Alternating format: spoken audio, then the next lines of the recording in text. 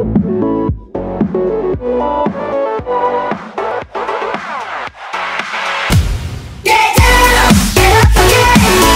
guys, how's it going? KingCuts85 here, your titty fucking football playing YouTuber, and today I am on the game Grand Theft Auto 5 to show you guys how to get $20,000 on multiplayer. Uh, to do this, you need to be a level 15 to uh, unlock it on your own map, um, but you can join any level really. You're probably gonna die a lot.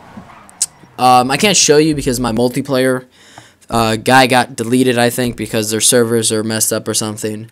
But uh, what you want to do when your servers are everything okay, and if you're level 15 or your friend has it, he'll know what it means. Um, go to survival. It's down in this little area right on your map. So here's the whole map. You want to go down here by this ammunition, and right in there there'll be a little shield with a blue shield with a little cross, like an addition sign inside of it, and it's called survival. And that's what it is. It's survival, where there's 10 waves of cops, and you gotta kill them and helicopters will come in and cars will drive by and everything. And if you survive all 10 waves, you get $20,000. And it is amazing. I, I absolutely love it. And you get ranked up really fast. I think one game I was level 20 and I got like 22 easily.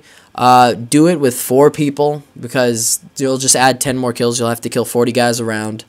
And, but it goes way uh, goes by really fast. So I hope you guys all enjoyed that. Um, remember, bottom right of the map right in this little area right here in multiplayer multiplayer only. So i hope you guys all enjoyed this and leave a like if you did and comment what you want to see next and i'll talk to you guys later. Peace